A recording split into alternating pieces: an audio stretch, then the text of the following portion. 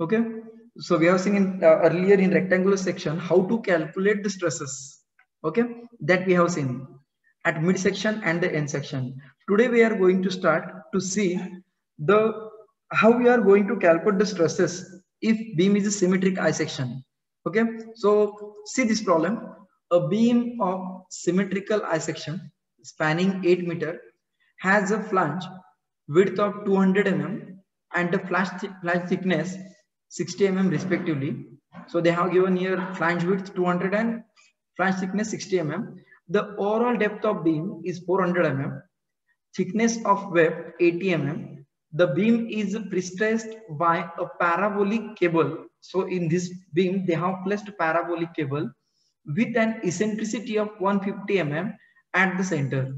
So I section symmetric beam in that beam they have they have used parabolic cable with the 150 mm eccentricity at center and the zero at support. The cable they have placed parabolic cable eccentricity and zero and eccentricity at center is 150 mm. Okay, with an effective force of 100 kN.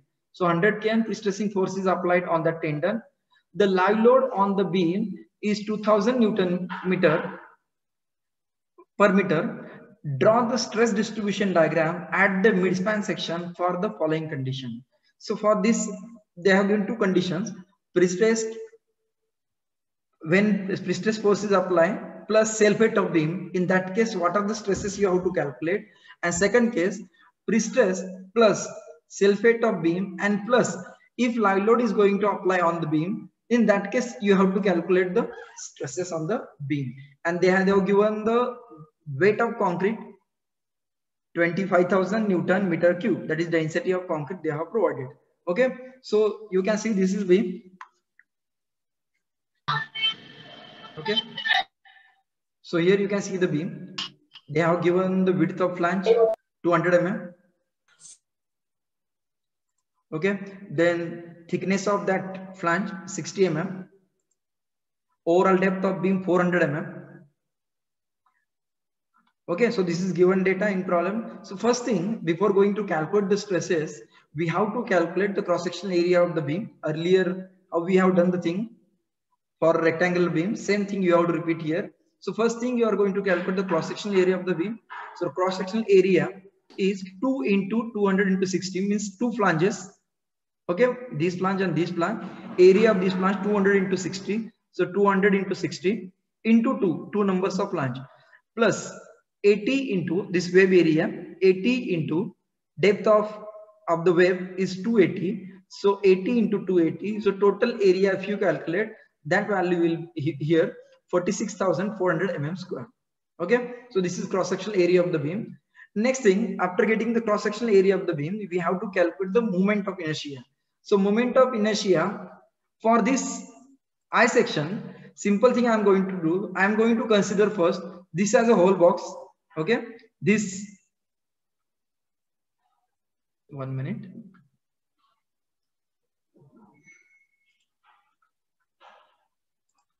So this full i'm going to consider as a one box first. Okay? And if i'm going to consider this is a rectangle i'm going to calculate moment of inertia for this. So i have considered here 200 into full depth of beam. So 200 into full depth of beam moment of inertia for rectangular beam you know the formula. So formula is bd cube by 12 this is width of beam depth of beam cube by 12 so now after knowing after calculating the moment of inertia for this so i'm going to put the value here. That 200 into 400 cube divided by 12 now i'm going to subtract the two these small rectangles. These two small rectangle because this is not part of our beam so what I'm going to do here, this total cross section of being I have considered rectangle 200 by 400 minus 120. So 120, how we get this value of 120 width? So this see here, this is 200, this is 80. So total 120. So 120 if I'm going to consider here 60 and this is 60 and this is 80. So 60, 60, 120. So I have considered here 120 and 280 is the depth of the web. So this is 280 cube divided by 12. So I have got the moment of inertia value here for this I section 8.471 into 10 to 3 mm 4. Okay, so this I got the value of moment of inertia. Okay, after getting the value of moment of inertia, next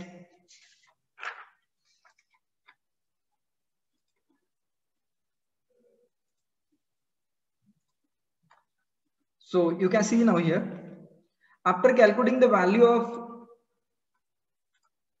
one minute. After getting the value of moment of inertia, next thing we have to calculate the section modulus.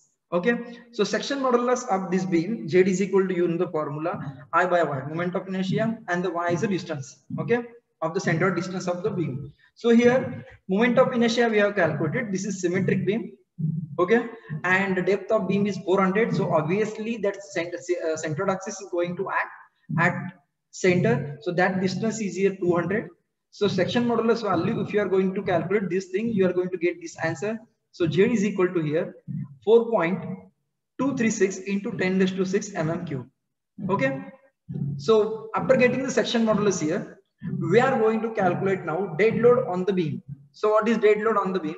So dead load on the beam here, area cross-section area of the beam, which earlier we have calculated. So you can see here the area of beam which you have calculated. So area of beam here 46,400 mm square. If I'm if you are going to convert it into meter, that area will be 0.0464 into density of that concrete. So you will get the value here 1160 Newton per meter. Okay, will be the dead, dead load of the beam. Okay. So next, after getting the dead load of beam, upward uniformly distributed load transmitted by the cable. Okay. So here, remember we have solved the problem when beam is subjected with the uh, cable. Once again, I will repeat. If this is the beam and the cable is provided here somewhere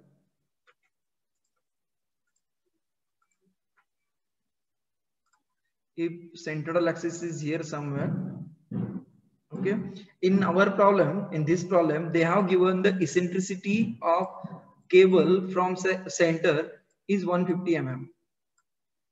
150 mm they have given. And eccentricity at edges they have provided zero. So first thing we have to calculate okay we have to calculate upward uniform distributed transmitted by the cable this cable how much force going to transmit transmit to the upward side. And that formula already we have seen. So formula here you can see. Wc 8 into p into e. P is a pre-stressing force e is the eccentricity of the tendon l is the length of the beam. So here you can see if you are going to put the values in the formula 8 into 100 is a pre-stressing force. You are to convert we are going to convert into newton. And this eccentricity 150 m they are given we have converted into meter and into l square. Okay l is 8 so 8 into 8 so after putting the value here the net upward uniform distributed load transmitted by that cable that value will get here 1875 newton meter okay so what we have calculated, the total dead load of beam, you can see here the calculation which you have done. So total load of beam, self load of the beam, self weight of the beam, 1160 Newton meter we have calculated. But the pressure exerted by or transmitted by this cable, a cable more transmit केलेला pressure किती आहे 1875 Newton metre म्हणजे वरून येणाऱ्या pressure पेक्षा केबलने जो pressure transmit करणार आहे तो केबल तो प्रेशर जास्त आहे त्याच्यामुळे काय येणार आहे obviously this is beam is going to bend like this. Karan? Because due to this cable whatever the pressure transmitted upward side that pressure value is 1875 and the dead load of dead load of the beam is 1160 okay so, so so beam is going to bend in upward side. So we have calculated this value now next thing, after getting the uh, upward uniformly distributed load transmitted by the cable, next thing, case number first we are going to see now. Case number first, beam subjected to in the problem, they have asked that pre-stressing first condition for pre-stressing when beam is subject with the pre-stressing force and the self weight. What are the various stresses in the beam that we have to calculate? So here you can see case number first beam subjected to pre-stressed and the self weight. So first thing as usual we have to calculate the direct stresses. So direct stresses you can see here P by A. So here this is pre-stressing force converted into Newton and then area cross section area into mm square. If you are if you are going to put the value in this formula you will get the answer plus 2.16 Newton mm square. Okay. And next upward uniformly distributed load net load already I have discussed with you that load transmitted by the cable due to that uh, tendon to the beam is 1875 1875 but net upward load due to dead load that value is 1160 newton newton per meter okay? So here net upward uniformly distributed load that w will going to get 1875 minus 1160 1160 so that value 715 is going to act upward. Okay? Remember this. This is downward this is upward. So net here force w you are going to get upward side. Okay? Upward uniform distributed load w. So for this w we are going to calculate the net bending moment so net bending moment wl square by 8 so w is here 715 into l square length uh, uh, length of beam 8 so length square divided by 8 so total bending moment here 5720 newton meter. And that is going to act as a hogging. Okay?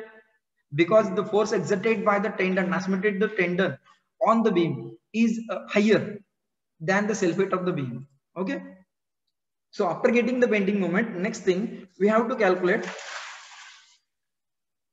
the stresses. Okay? So you can see the stresses here. Extreme stresses due to the net bending moment. So simple thing here m by z. So m we have calculated just now. So that M value is here. 5720 5720 Newton meter hogging. If I'm going to put this value into this formula, so formula people know extreme stresses for bending moment. So this formula here M by Z. So bending moment 5720 okay and here Z is a section modulus. If you are going to put the value here, you are going to get this stress minus tension at top, compression at bottom. Already I have told you because of the that transmitted uh, pressure on the due to tendon on the beam is higher than the self weight of beam. Okay. So this how you are going to get the value. So already we have the direct stress now. So direct stress minus bending stress. So that total value is here plus 0.81 Newton mm square and final stress at bottom direct stress 2.16 plus 1.35 so that total value is 3.51 Newton per mm square. Okay? So so this is due to the first case of the beam. In first case how to get the how to calculate the stresses at top and bottom fiber that we have seen. Okay? Now next thing we are going to calculate now the stresses in the second case and second case stresses they have given the data for which we have to calculate the direct stresses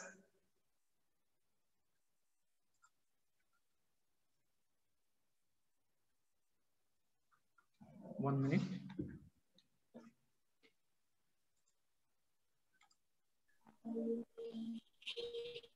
so next thing here Case number two, beam is subjected to pre-stressed, pre-stressed and self-weight of beam and the live load.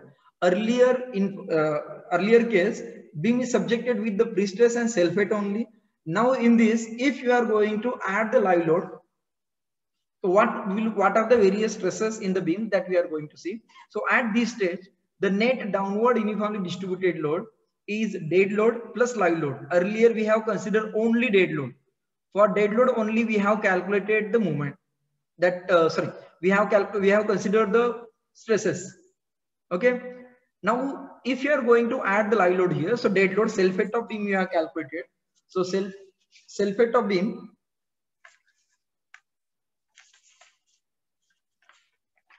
one minute.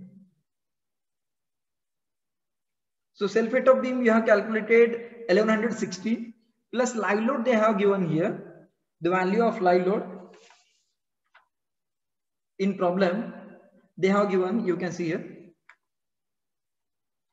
The live load on the beam is 2000 newton meter. So that value you are going to put here in live load minus upwarded udl transmitted by the cable. That value already we have calculated.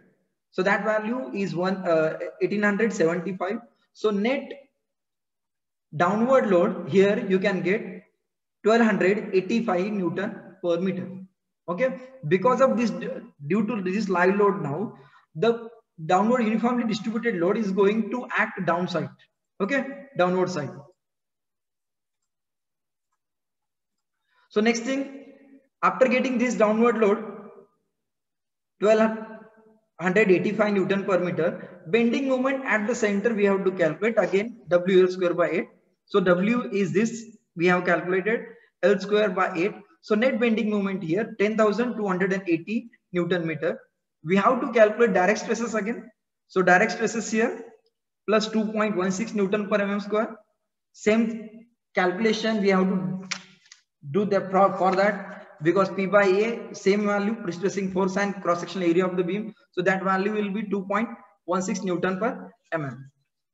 So after getting this value direct stress we have to calculate the bending stresses so extreme stresses due to bending moment.